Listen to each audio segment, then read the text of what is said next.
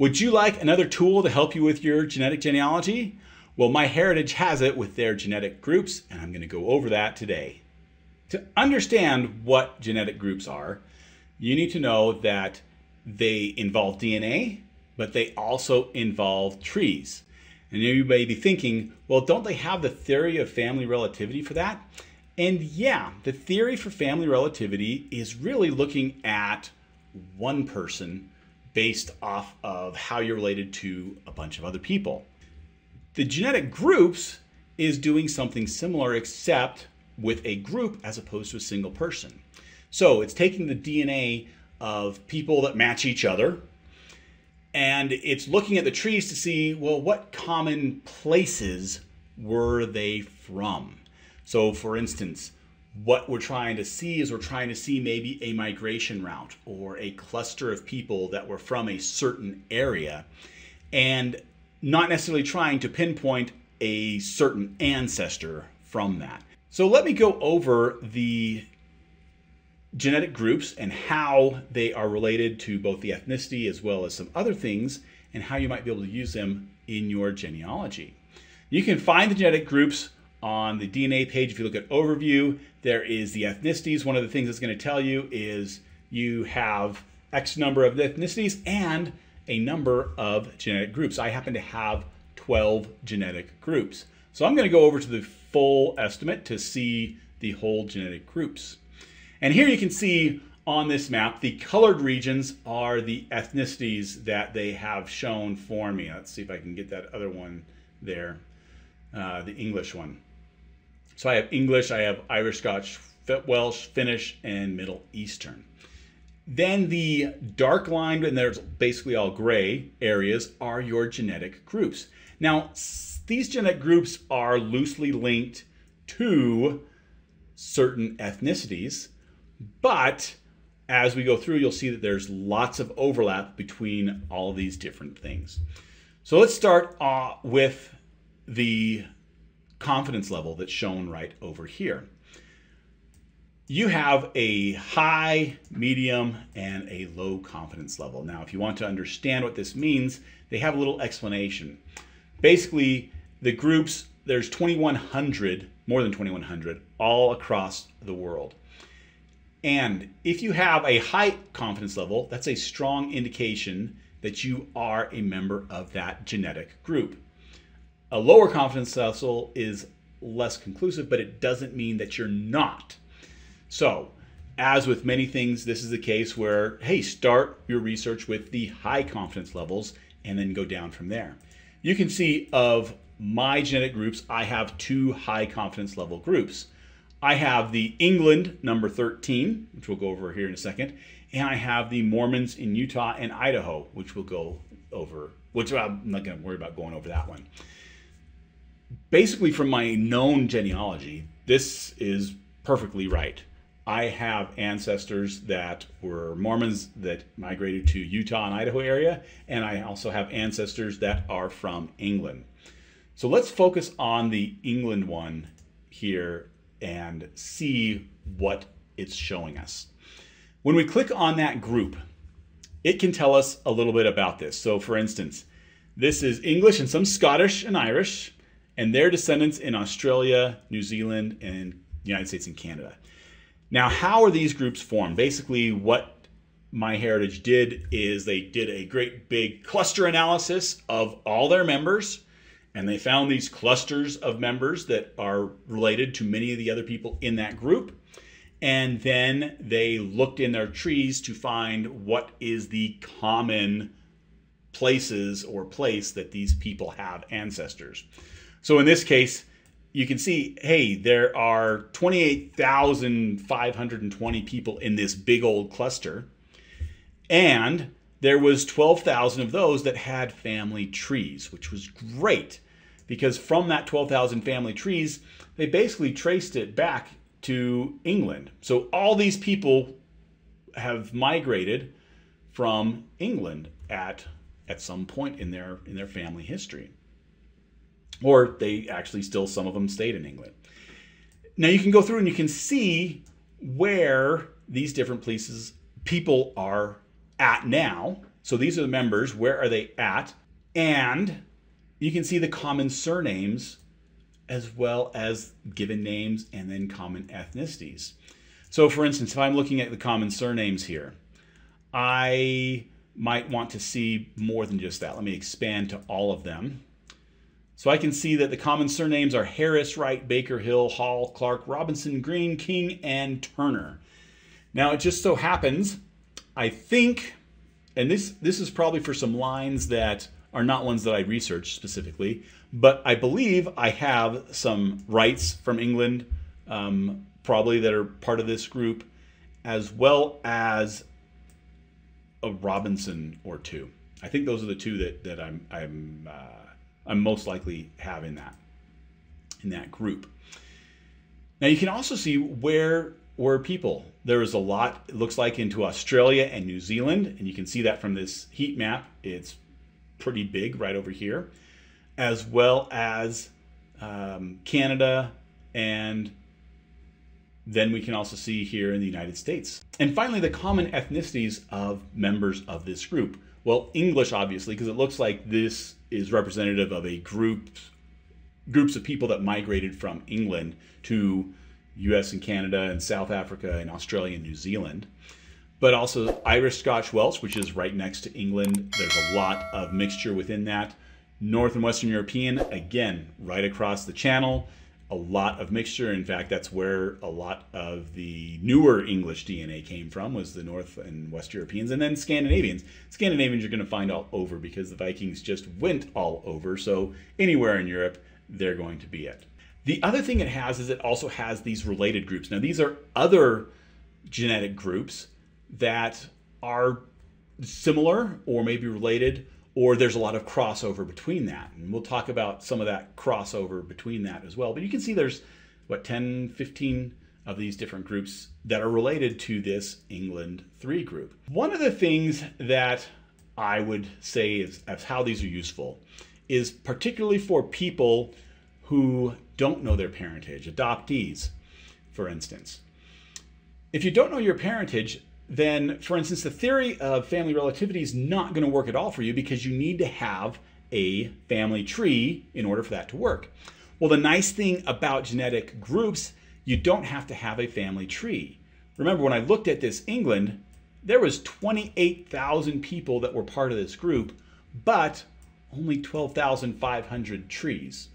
So more than half of these people didn't have a tree attached, but because of those 12,000 of us that do have a tree, they're fairly certain that this group was from England um, over a certain time period.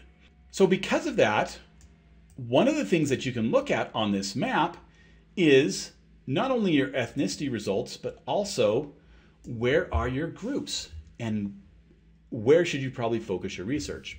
Now, the first thing that I would look at is I would say, okay, the United States, since it's not Native American, these are all immigrant groups. So I can ignore those for right now and go back across the Atlantic Ocean to where the Middle East, the Finnish, and my English and Irish ethnicities are. And you'll notice that I actually have three groups that are overlaid primarily over the English side of things. And I don't have any genetic groups over Finland or the Middle East. Now, Finnish it's saying I have 3.1%, Middle Eastern I says 1.4%. Those are really small percentages, and I probably wouldn't worry about those. But in particular, if I didn't know any better, I don't have this group of people that are known to be from a certain area in Finland and the Middle East. So I'm not even going to worry about those ethnicities, and I can focus on these English and Irish and Scottish ethnicities primarily. And if I even just go to the high ones, really the one to focus on happens to be England. So let me focus on this England number 13 for a moment. And as we go to the heat map here, I can see that in England, it's scattered all about, and this is in the time period of 1900 to 1950. So this is where different events of people's lives happened in 1900 to 1950. Now, I have a great grandfather who is from Cornwall, England, down here in the little corner of England and he immigrated in 1912. So he immigrated in this time period.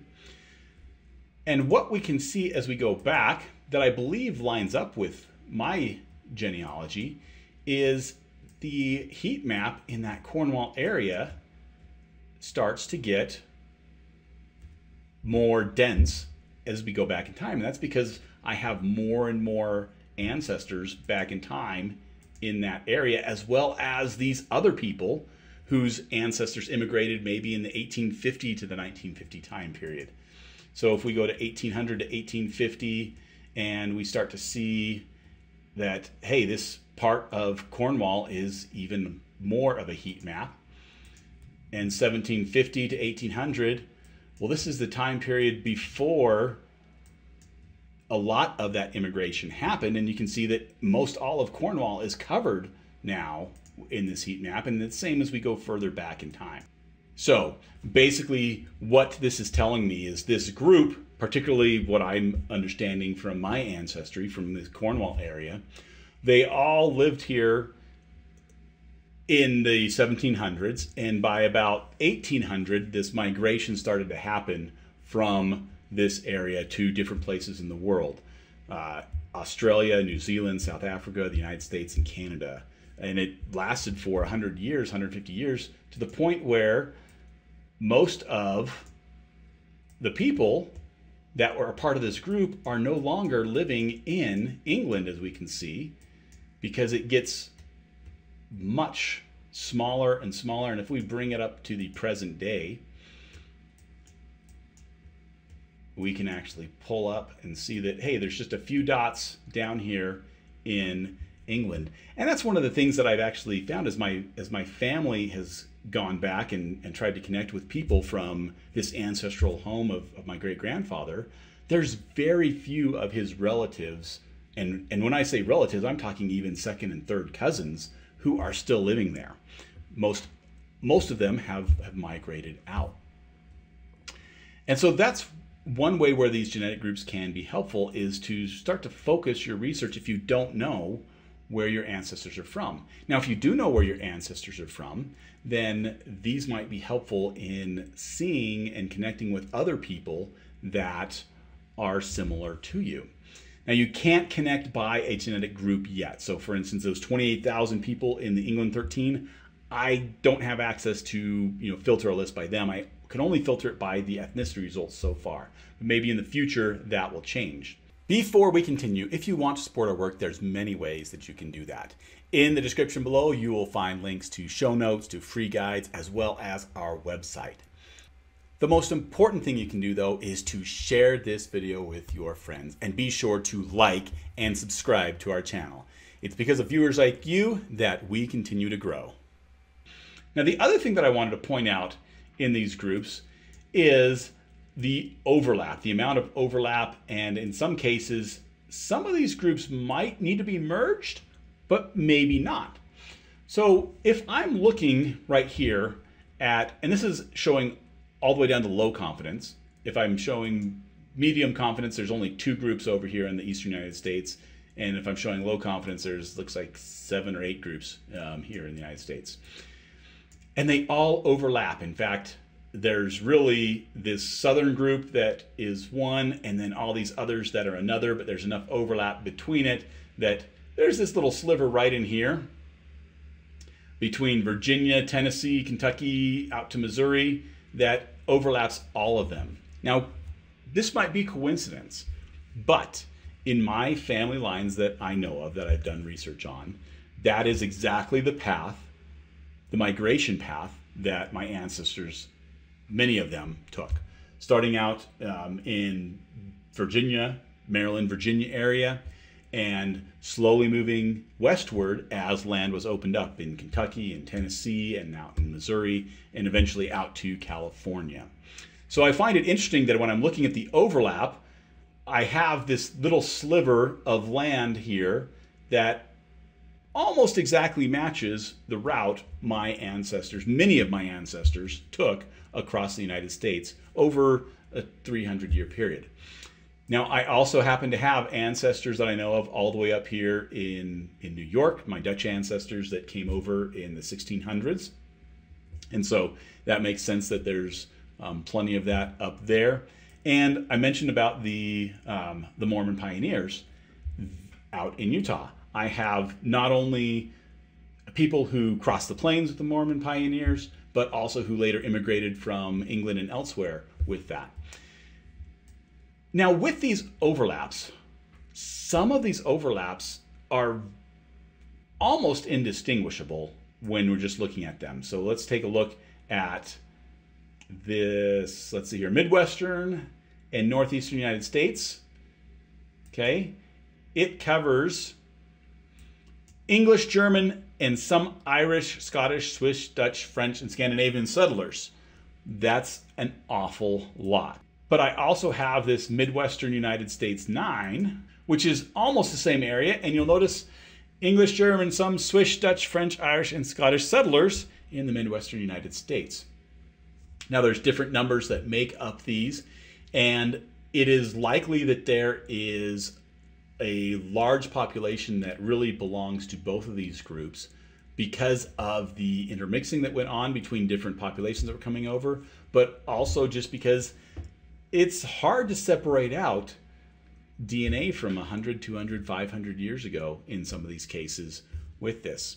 Now, most of my groups, as you're looking at them, are actually quite large. They cover large areas. Not all of the genetic groups are going to be this large. Let's go down to the bottom here and show all the available regions. This is all 2,100 groups. Now they're divided up by different ethnic groups. And I want to caution there with this is don't think that the genetic group has to be just contained within that ethnic group. There is lots of overlap as we will see. So let's go over to the, well, first off, the English group.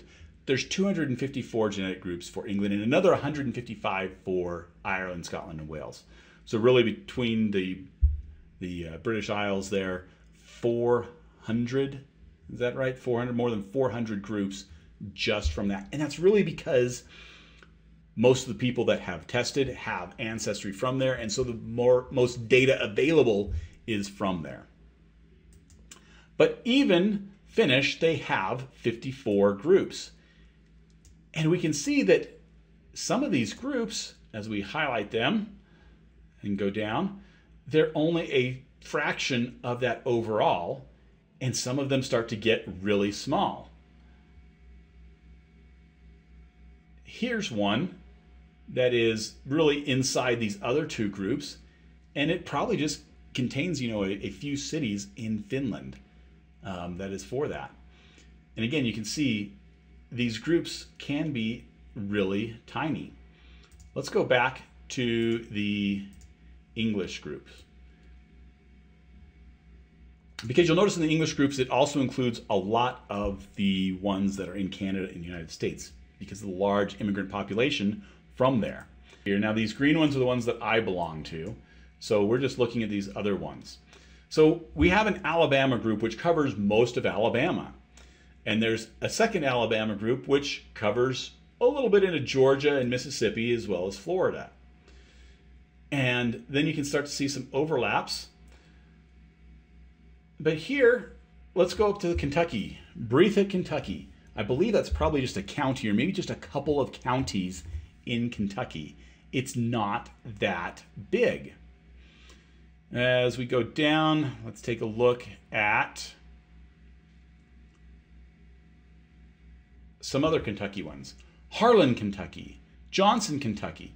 You'll notice these are just really tiny areas of Kentucky that there is enough people that have tested and enough genetic diversity with other people in the database that they can isolate that your ancestors probably were in that area. Now, again, this isn't with everything, but you can see throughout the world the different places that are just small fractions of it. So, for instance, here is a group, Taranaki in New Zealand, that's part of that English group that just takes up a fraction of New Zealand as well. So, there is a lot of information to start to dive into with these genetic groups. And again, remember, this is a combination of not just the DNA, but also the trees that people have developed as well. The advantage to this over the theory of family relativity is you don't have to have a tree to take advantage of this, and you can actually use this to help isolate where some of your ancestors are from to maybe you're going to start to do some other searches that you weren't thinking of before. Now, as with many things that are related to the ethnicity estimates and that, remember these are estimates. Basically, there was a big cluster match done and you happen to show up in these clusters, but that is not a 100% guarantee that you really belong to that. That's why they have the confidence level there. It's a high confidence, a medium confidence, a low confidence. But what it does do is it gives you a new tool to use so that you can further your genealogy research. Now, if you'd like to learn more about the theory of family relativity, then there's a video up here that you can watch. And if you want something else about DNA or MyHeritage, there's a video right here.